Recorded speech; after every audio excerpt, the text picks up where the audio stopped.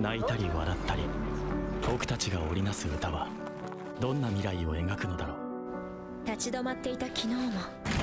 この胸に記して歩き出すその足音は続いていく。きっと明日も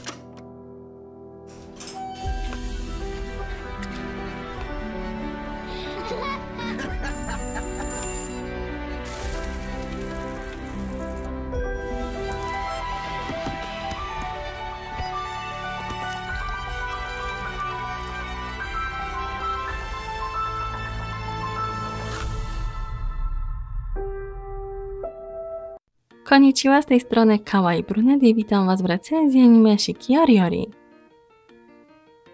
Shikioriori to półtoragodzinny film od Netflixa, za którego produkcję odpowiadają dwa studia.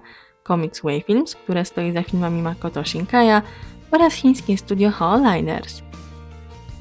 Japońsko-chińska produkcja jest połączeniem trzech oddzielnych historii, które mają miejsce w kilku chińskich miastach. Pierwszą z nich jest opowieść o młodym mężczyźnie, który wraca wspomnieniami do czasów dzieciństwa, ukochanej babci i zupie, która odgrywa dużą rolę w jego przeszłości. Druga historia opowiada o siostrach, mieszkankach kantonu. Starsza Irin jest modelką, lecz zaczyna mieć wątpliwości co do swojej kariery z racji upływającego czasu. Młodsza Lulu od lat wspiera siostrę i w tajemnicy projektuje ubrania. Jaki los czeka siostry w wielkim i bezkompromisowym mieście? Trzecia historia, według mnie najbardziej wzruszająca, ukazuje nieszczęśliwe życie młodego architekta, który przed laty stracił bliską jego sercu przyjaciółkę.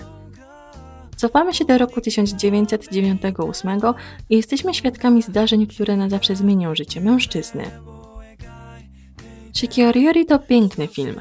Genialna grafika sprawia, że seans jest czystą przyjemnością, ale nie jest to pusta wydmuszka. Każda z trzech historii ma w sobie coś głębszego i niesie ze sobą ważne przesłanie. Trzy historie, trzech reżyserów i dwa studia. Czy to mogło się udać?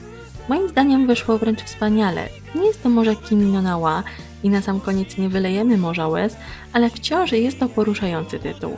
Polecam go wszystkim, gdyż z pewnością jest wart uwagi. To wszystko w tym odcinku. Dziękuję za oglądanie, zapraszam na Facebooka, Instagrama i Twittera.